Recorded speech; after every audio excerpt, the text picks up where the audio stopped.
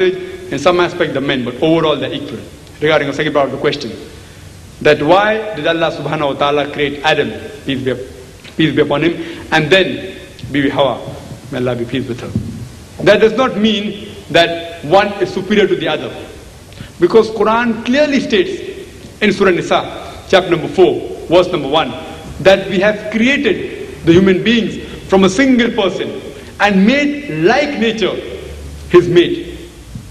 That means both men and women are spiritually equal. After Adam, peace be upon him, was created, Hawa, peace be upon him, was created, she was equal in nature. Spiritually, both were equal. The West a misconception that in Islam, the woman can't attain paradise, which can be easily clarified from several verses of the Holy Quran, including Surah Nisa, chapter 4, verse number 124, which says that as, as, as to the men and women, whoever has faith and does righteous deed, be it a man or a woman, they shall enter paradise. It's clearly mentioned.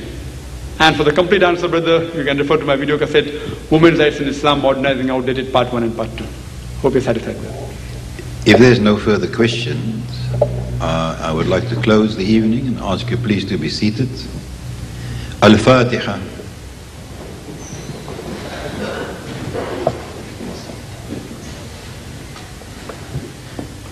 بسم الله الرحمن الرحيم الحمد لله رب العالمين والصلاة والسلام على أشرف المرسلين سيدنا ونبينا محمد وعلى آله وأصحابه أجمعين O Allah, we thank Thee for having granted us the privilege of listening to our brother Dr. Zakir Abdul Karim Naikan.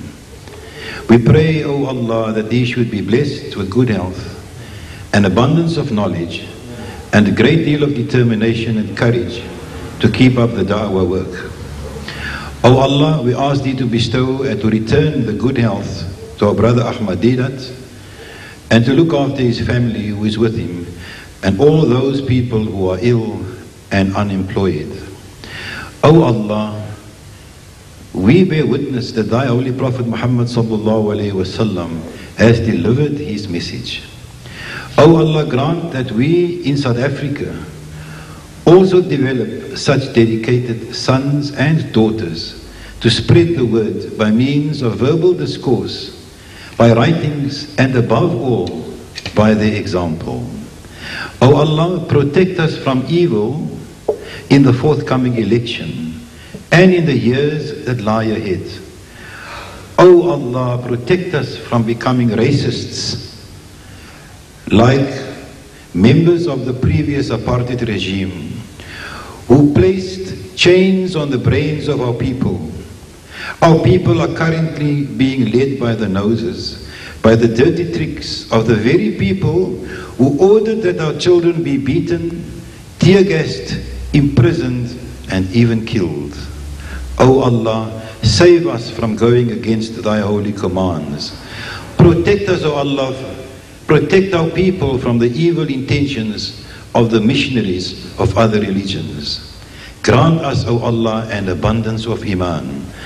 ربنا إننا سمعنا مناديا ينادي للإيمان أن آمنوا بربكم فآمنا ربنا فاغفر لنا ذنوبنا وكفر عنا سيئاتنا وتوفنا مع الأبرار ربنا وآتنا ما وعدتنا على رسلك ولا تخزنا يوم القيامة. إنك لا تخلف الميعاد. اللهم اشف مرضانا اللهم اشف مرضانا اللهم اشف مرضانا وارحم موتانا برحمتك يا أرحم الراحمين. ربنا ظلمنا أنفسنا وإن لم تغفر لنا وترحمنا لنكونن من الخاسرين. ربنا هب لنا من أزواجنا وذرياتنا قرة أعين واجعلنا للمتقين إماما. ربنا لا تزغ قلوبنا بعد إذا هديتنا وهب لنا من لدنك رحمة إنك أنت الوهاب. ربنا آتنا في الدنيا حسنة وفي الآخرة حسنة وقنا عذاب النار وأدخلنا الجنة مع الأبرار. يا عزيز يا غفار يا رب العالمين. ربنا لا تؤاخذنا إن نسينا أو أخطأنا. ربنا ولا تحمل علينا إسرا كما حملته على الذين من قبلنا. ربنا ولا تحملنا ما لا طاقة لنا به. واعف عنا واغفر لنا وارحمنا. أنت مولانا فانصرنا على القوم الكافرين. والحمد لله رب العالمين. الفاتحة.